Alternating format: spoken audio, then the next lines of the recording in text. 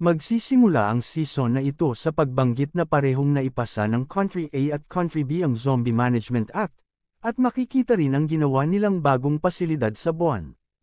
Ayon sa batas na ito, ang buwan ay gagawing isang malaking kulungan gamit ang teknolohiyang nanometal, at ang dahilan sa paggawa ng napakakomplikadong kulungan na ito ay upang ikulong dito ang pinakamalakas na individual na may pangalang zombie, upang masigurado ang kaligtasan ng buong sibilisasyon ng mga tao. Upang ipatupad ang batas, ang dalawang bansa ay bumuo ng isang Special Act Enforcement Bureau o SAEB, na siyang magkakaroon ng ganap na autoridad sa pagpapatupad ng batas na ito. Samantala, sa City H, makikitang lumilipad sa itaas ang mga fighter jets at tila naghahanda sa isang pag-atake. Sa paligid ng lungsod, makikita ang mga tangke na naghahanda rin para sa isang nalalapit na labanan. Sinabi ng isa sa mga zombie na nagbabantay sa kanilang mga kilos na ang mga tao sa labas ng lungsod ay patuloy na damadami. Nagkomento pa siya kung dinala na ba ng mga ito ang lahat ng mga top-level combat forces ng buong planeta. Ang kasama naman niya, na tila naiinis na, ay naglabas ng apoy sa kanyang kamay at sinabing dahil sa takot at diskriminasyon ng mga tao, lahat ng zombie na may sariling kaisipan ay napilitang tumira sa City H. Idinagdag pa niya na mabuti na lamang at nakilala nila ang kanilang hari kaya nakalipat sila ng mas maaga. Sa sandaling iyon, ginamit ng kanyang kasama ang apoy upang makapag-ihaw ng kanilang pagkain. Kasunod nito ay nagkaroon ng sandaling katahimikan, at sinabi ng isa pang zombie na mabuti na lamang at nakakuha sila ng bahay sa rooftop, dahil kung nahuli pa sila, baka hindi nila makayang bayaran ang renta. Dagdag pa niya, kung hahayaang matulog ang kanilang leader sa ilalim ng tulay tulad ng mga miyembro ng Blood Tribe, masyado yung nakakahiya. Ang kanilang leader, na nagre-relax lamang sa kanyang duyan, ay nagsabi na ang mga tao ay natatakot kay zombie, at dahil wala silang magawa laban dito, wala rin silang magawa sa mga zombie na naninirahan sa kanyang lungsod. Dagdag pa niya na dapat ay nakinig na lamang ang mga tao sa kanyang babala noon. Ngunit habang nagsasalita siya, biglang sumigaw ang isa sa kanyang mga tauhan, sinasabing may nangyayari sa loob ng lungsod, ang mga tao ay sinimulan na ang pag-atake. Pagkatapos nito, sumigaw ang namumuno sa mga tao, Sinasabing na ipasa na ang batas at ang misyon nila ngayon ay huliin si zombie. Nagulat ang kanilang leader, tinatanong kung seryoso ba sila o talagang mga estupido lamang. Para lang nilang gustong pabilisin ang katapusan ng sibilisasyon ng mga tao. Samantala, sa isang bahagi ng lungsod, makikita si Violet na mabilis na sumusugod patungo sa isang gusali, habang pinangungunahan ng pinuno ng mga hero ng Country A ang operasyon. Si Violet, na mabilis na lumilipad, ay nakakita ng mga hero na abala sa pagdakip sa mga tauhan ni zombie. Habang lumilipad siya, may napansin siyang bagay na papalapit at bigla itong sumabog sa kanyang harapan. Si Don pala ang nagpaputok nito, habang tumatawa at nagpapaputok ng baril kay Violet. Tinanong pa ni Don kung bakit siya nagdala ng napakaraming tao sa lungsod ni zombie, at sinabi pa niya na dahil sa kanila, Naging magulo ang lugar. Inimbitahan pa niya si Violet na makipaglaro sa kanya.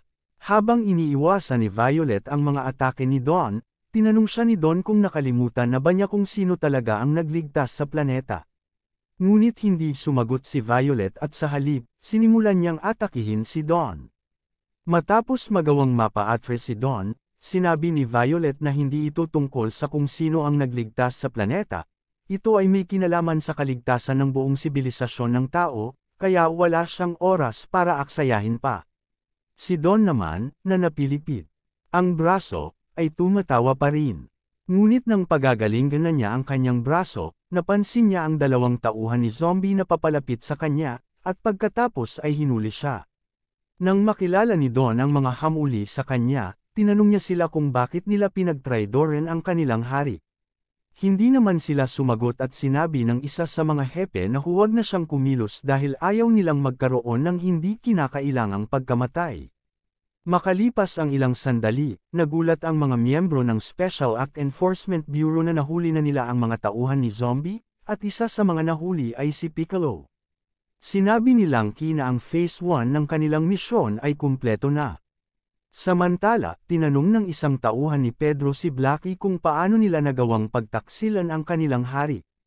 Ipinaliwanag ni Blackie na ang mundo ay palaging nasa bingit ng digmaan, kaya't ang tanging paraan upang maiwasan ito ay makipagtulungan sa mga nagpapatupad ng bagong batas, upang matupad din nila ang pangarap ng kanilang hari na mabuhay ng magkasama ang mga tao at mga zombie.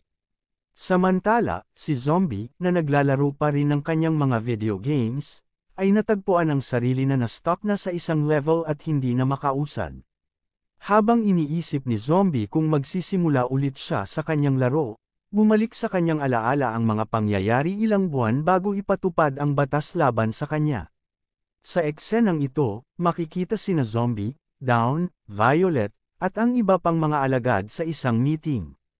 Sinabi ni Violet na dapat nilang soluhan ang kanilang mga script at ipinaliwanag muli ang kanilang gagawin. Sinabi niya na susugod siya sa sentro ng lungsod, sasalubungin siya ng mga kasama sa kanyang kaliwa, habang si Fair ay lalabas mula sa kanyang kanan. Pagdating niya sa main building, sasalubungin naman siya ni Down, at pagkatapos ay huhulihin siya ng grupo ni na Blackie. Pagkatapos nito, abala ang bawat isa sa pagmamemorya ng kanilang mga linya para sa kunwa-kunwaring paghuli kay zombie. Samantala, si Lanky ay nasa isang bahagi ng laboratorio at sinabing sisimula na nila ang pagsubok sa lakas ng zombie prison. Sinabihan niya si zombie na simulan na ang eksperimento gamit ang kanyang standard attack. Matapos marinig ito, agad sinuntok ni zombie ang malaking pader sa harapan niya. Dahil sa ginawa niyang ito, naramdaman ng lahat ang napakalakas na pagyanig. Hindi pa natapos doon, nagtalsikon sila sa loob dahil naalag ng husto ang lugar sa lakas ng impact ng suntok ni zombie. Nang hamupa ang pagyanig, nakita nilang nagkaroon ng malaking butas sa pader, at ngayon ay kitang-kita na nila ang kalangitan. Nagulat si Violet at Lanky sa nakita, at hindi sila makapaniwala na kahit nasa kalawakan pa sila, Ramdam na ramdam ang epekto ng suntok ni zombie sa planeta. Samantala, masaya si zombie at sinabi niyang maganda ang pakiramdam niya matapos ang suntok na iyon. Pinuri pa niya ang mga gumawa ng pader, sinasabing natutunan na talaga nila ang teknolohiya ng mga sinaunang nilalang. Dagdag pa niya, sa antas ng teknolohiyang ito, matatanggal na nila ang takot ng mga tao sa kanya. Nanatili namang tulala si Down at ang hepe ng mga hero sa sinabi ni Zombie, dahil tila hindi nag-iisip si Zombie sa mga sinabi niya. Galit na galit si Violet at sinabihan si Zombie kung seryoso ba talaga siya, dahil kahit sa kanyang basic attack, wala silang napigil ang anuman. Idinagdag ng hepe na kung makikita ng mga tao ang footage ng ginawa ni Zombie, baka lalo lamang silang matakot. Ngunit nanatili namang positibo si Zombie, Sinasabi na magiging ayos lang iyon. Kailangan lamang nilang gawing mas makapal ang pader, mga isang libong kilometro. Naniniwala siya na magiging sapat na ang laki ng buwan para dito. Hindi makapaniwala si Violet sa mga sinasabi ni Zombie at napapaisip siya kung posible ba talaga ang mga suhestyon nito. Dagdag pa ni Zombie na hindi sila dapat mag-alala, dahil ang kanyang mga alagad ay tutulong para mabago ang pagtingin ng mga tao sa mga zombie. Nang ibaling ni Violet ang kanyang atensyon sa mga alagad ni Zombie, napamura na lang siya, dahil tila tulad ni Zombie, mukhang mga abnormal din ang mga ito. Sa kasalukuyan, makikita si Violet sa harapan ng isang interview, sinasabing naging matagumpay ang kanilang misyon sa CTH. Idinagdag pa niya na ang kagamitan na gagamitin nila laban kay zombie ay isang espesyal na equipment na tinatawag na Zombie Containment Unit, na develop mula sa efforts ng parehong bansa gamit ang teknolohiya ng mga sinaunang sibilisasyong tao. Kasalukuyang nasa ibabaw na ito ng CTH. Sinabi rin niya na bilang patunay kung gaano kaepektibo at hindi nasa SIRA ang containment unit, nasa loob na ang mga nahuling alagad ni zombie. Makikita pa nga sina Blackie at Ago na nagse-selfie sa harap ng kanilang dalawang kasamahang nakulong na, kaya sinabi ni Violet na ang unang hakbang tungo sa pagkakaroon ng magkasamang pamumuhay ng mga tao at zombie ay nasimulan na. Samantala, habang pinapanood ni zombie ang lahat ng ito, natuwa siya dahil hindi niya akalain na magaling palang umarte ang kanyang mga alagad. Habang nasa bahay, nakatapos na si Zombie ng kanyang libro na pinamagatang Zombie Travel Journal at ang isa pang libro na pinamagatang In Order Not to Kill the Humans, I Became an Idol. Matapos ito, inimpake na niya ang kanyang mga gamit, at sinabi niya na kapag nakakulong na siya, sisimulan na niyang baguhin ang kanyang imahe, upang magsimula na rin ang kanilang master plan. Naniniwala siya na magiging perpekto ang plano nila, at kakaunti lang ang gamit na dadalhin niya para madali siyang makapunta sa kanyang kulungan. Samantala, sa isang helicopter ng Enforcement Bureau, sinabi ng isang lalaki na ang mga duwag at mahihinang tao mula sa Country A ay nag-aalinlangan pa rin, sa kabila ng pagkakaroon nila ng napaka-advance na teknolohiya. Dagdag pa niya, kahit ang mga tauhan ni Zombie ay pinagtaksilan na siya, kaya para sa kanya, ang pamumuhay ng magkasama ng mga tao at zombie ay isang malaking kalokohan. Ang lalaking ito pala ay isa sa mga mahihinang nilalang na namatay noong atakihin ni Jiangxi ang sangkatauhan, kaya wala siyang kaalam-alam kung gaano kalakas si zombie. Sa oras na iyon, napadaan sila sa gusali kung saan nakatali si Barmin. Habang umiiyak si Barmint at iniisip kung kailan siya papakawalan ng kanilang hari, napansin niya ang helicopter. Sa mga oras na iyon, sinabi ng lalaki na ito na ang perpektong pagkakataon para tuluyan ng tapusin si Barmin. Pagkatapos nito, nagpakawala ng missile ang lalaki patungo kay Barman, na noon ay nakatali pa rin. Sinundan ito ng isang malakas na pagsabog, at sa wakas ay nakalaya si Barman. Matapos maramdaman ang kanyang kalayaan, nagsimula siyang humingi ng tawad, Sinasabing hindi niya ito sinadyang gawin dahil may sumabog sa kanyang kinatatalyan.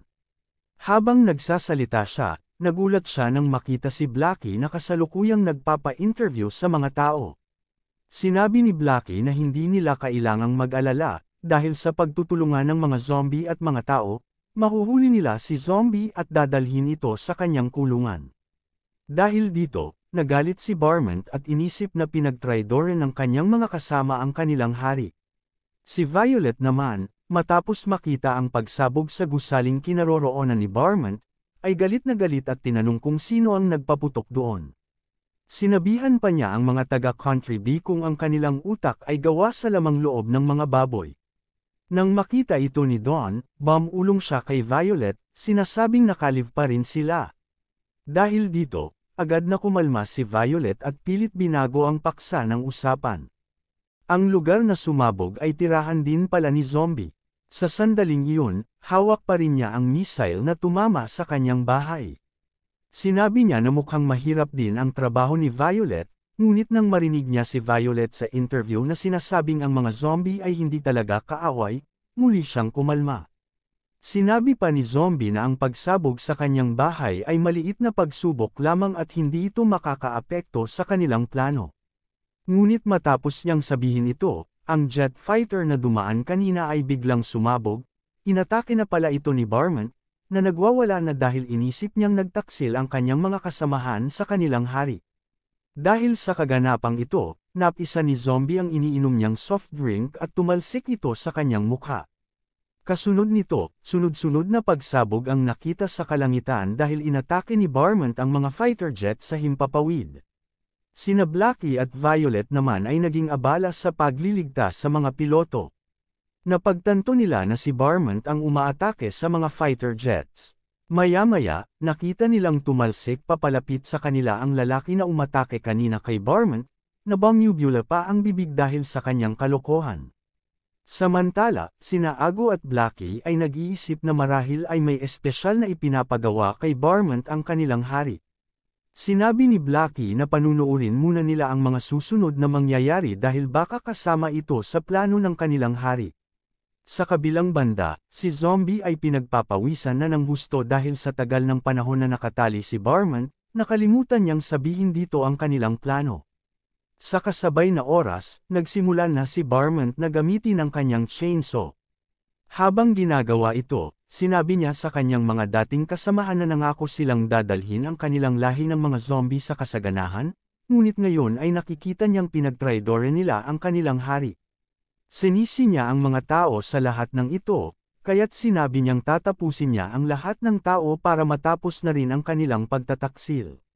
Nang makita ni Blackie ang ginagawang ito ni Barmont, sinabi niya na mukhang ilalabas na nito ang buong lakas niya. Kaya inutusan niya ang kanyang mga kasamahan na maghanda upang pigilan si Barman. Kasunod nito, makikita na pinasabog na ni Barman ang mga fighter jets, kasama na ang nagdadala ng kulungan na para sana kay zombie. Ngunit bago tuluyang bumagsak ang kulungan, may isang nilalang na lumipad papunta doon at binuhat ito, gamit ang kulungan bilang pambato kay Barman. Nagdulot ito ng isang malaking pagsabog sa gitna ng lungsod, na nagliparan ang mga tangke at sundalo.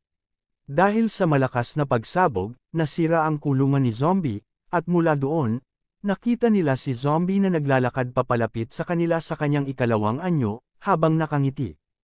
Natataranta naman si Violet dahil wala ito sa kanilang plano.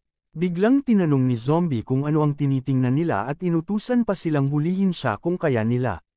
Pagkatapos ng mga pangyayari, makikitang nahuli na nila si Zombie at kinukuhanan na siya ng mugshot. Samantala, sa headquarters ng Special Task Force, nagaganap ang isang interview. Sinabi nila na ang araw na ito ay maitatala sa kasaysayan bilang tagumpay ng sangkatauhan sa pagkahuli kay zombie. Habang nagkakagulo ang mga reporter sa kanilang pagtatanong, sinabi ni Blackie na sila ay kumakampi na sa sangkatauhan, at si zombie ay nasa ilalim na ng batas. Ang karapatan sa pagmomonitor sa kanya ay nasa kamay ng bawat nilalang sa mundo. Idinagdag pa niya na ang kapayapaan ay parehong pangarap ng mga tao at ng mga zombie, kaya masaya niyang ipinaalam na ito ang simula ng bagong panahon. Pagkasabi ni Blackie ng kanyang pahayag, pumasok na siya sa loob ng headquarters at nakita ang kanilang hari, si Zombie. Kasunod nito, nagkaroon ng sandaling katahimikan at sabay-sabay. Nalumuhad ang mga alagad ni Zombie, humihingi ng tawad at sinabing ginawa lang nila iyon upang ipakita sa mga tao. Nakangiti namang sinabi ni Zombie na wala na iyon sa kanya, at habang pinutol niya ang posos na pumipigil sa kanya, tinanong niya ang kanyang mga alagad kung kumusta ang kanyang pag-arte, kung nagmukha ba siyang harmless at palakaibigan sa mga tao. Lumapit si Down at, habang ipinapakita ang isang video, sarkastikong sinabi na, oo, talagang nagmukha kang harmless. Sa video, makikita kung paanong winasak ni zombie ang kulungan na dapat para sa kanya, at habang tinatanong niya ang mga sundalo kung bakit hindi pa nila siya hinuhuli, inuupuan na niya si Barman, at takot na takot na ang mga sundalo sa kanya. Sinabi pa ni Down na napakapalakaibigan ni Zombie kaya maswerte sila na hindi niya sila pinatay lahat sa kanyang palakaibigan na paraan. Tinanong ni Down kung sa palagay ni Zombie, gaano karaming tao ang maniniwala na nahuli talaga nila siya matapos makita ang mga video na kumakalat sa internet. Humingi ng paumanhin si Zombie, sinasabing maliit na bagay lang iyon at hindi naman siguro magdudulot ng malaking problema.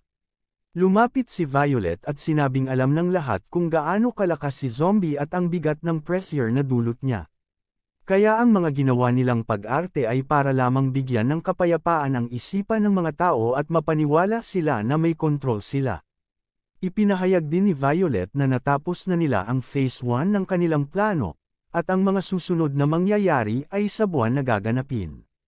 Sinabi pa niya na gagamitin nila ang buwan para sa isang malakihang zombie reality TV show, na magpapakita ng buhay ni zombie habang siya ay nasa buwan. Ipinaliwanag ni Blackie na nagplano siya upang mas mapaganda ang imahe ni zombie sa mga tao. Nagtatag siya ng grupo ng mga zombie na tot-utok sa mga komento sa gagawin nilang show, upang masiguradong walang makikitang hate comments. Ngunit sinabi ni Zombie na imposibleng walang haters sa panahon ngayon. Sinagot naman siya ni Blackie na hindi niya kailangang mag-alala dahil nag-hire siya ng mga profesional para sa mga haharapin nilang haters. Nagkomento si Ago na dapat tigilan na ni Blackie ang sobrang pagpaplano dahil baka maubusan sila ng oras. Sinabi naman ni Violet na ang kanyang magiging trabaho ay bantayan si Zombie at mananatili siyang kasama nito sa kulungan. Nagulat si Ago at Blackie, tila nag-aalala sa mangyayari sa dalawa sa loob ng kulungan. Pagkatapos magsuot ng oxygen mask, nagsimulang tumawa si Zombie at sinabing ipapaubaya na niya kay Violet ang pag-aalaga sa kanya. Sinabi ni Violet na ang takot ng mga tao ay dahil hindi nila lubos na kilala si Zombie. Kapag nakilala siya ng mga tao, mauunawaan nilang gusto lang din niyang mamuhay ng normal. Ngunit bago pa matapos ni Violet ang kanyang sinabi, bigla siyang hinayla ni Zombie, at sa isang malakas na buwelo, tumalon sila papunta sa kalangitan hanggang sa makarating sila sa buwan. Pagdating sa buwan, hingal na hingal si Violet dahil sa pagkabigla, habang masaya namang sinabi ni Zombie na narito na sila. Binanggit pa niya na matagal na siyang hindi nakakakita ng teknolohiyang tulad nito simula nang mapuksan niya ang mga sinaunang tao. Nang mapansin niyang hindi siya naririnig ni Violet, lumapit siya at nilagyan ni Violet ng headphone para marinig siya. Galit na sumigaw si Violet, tinanong kung bakit siya biglang hinayla at tumalon sa buwan, imbes na gamitin ang rocket na nakahanda. Napakamot ng ulo si Zombie at sinabing mas convenient iyon para sa kanya, Ngunit kung gusto ni Violet, maaari siyang ibalik sa Earth para sakyan ng rocket. Napasigaw si Violet sa takot at sinabing huwag gawin iyon. Bigla namang napansin ni Zombie na may paparating, at sinabi ni Violet na parating na ang kanilang mga kasama.